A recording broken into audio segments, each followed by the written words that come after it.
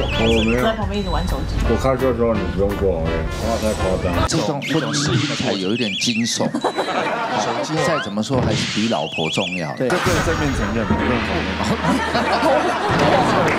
跟这个老婆两位请坐，请就坐。嗯，他们两个有一个重大的问题，为什么你知道？他们两个都是手机控，控到什么程度？有多控？请说。控控他很控他控控。他比较控，我觉得。怎么说？就是他从起床到睡觉前一刻都在用手机，哦而且就是你说玩游戏就算了，对跟他说你不要再玩了，他就说我没有在玩，我在回公司，就会用各种理由哦去拿他的手机。就是在玩 online game。对，然后每次被抓到不承认，说哎我只是上去收个宝物我就关起来了，可是每一次刚好都被我看到他在收宝物。哦，已经有一个统计出来喽哎，怎么样？地球人现在啊，基本上他每天使用手机的时间，约莫是占了四分之一的时间，也就是六个小时。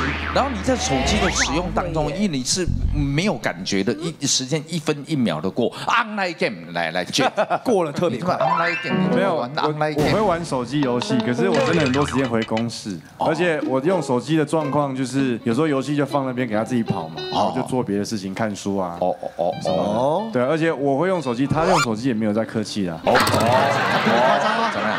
他用啥？像回家看到他就在用手机，在划他的那个 Facebook 或是一些 IG，然后就说哦我在看新闻。好。我说新闻应该不是看这些网页，我说没有，我有事情要去 follow，我要看一下。OK 好。然后有时候听到 Candy Crush，然后我就说你不是在玩游戏吗？我说没有啊，就是五条密码，玩完就还没有。在玩那么低能的东西？很难，很难哎！我很常因为手机也是跟我老公就有争执，哎然后他已经是争执到后面，他已经放弃他的人生了。他直接回我说：“对我用手机的时间就是很长。哦，”然后据点，他没有要接下来说，不然怎么样？没有解决方无法。改善的。对那怎么办？你们吃饭时间两个人就各玩各的啊、也没有啊，就是他会有时候看他的事情，有时候我会看我的事情。可是我们真的觉得吃饭的时候看手机可能不是一个好习惯。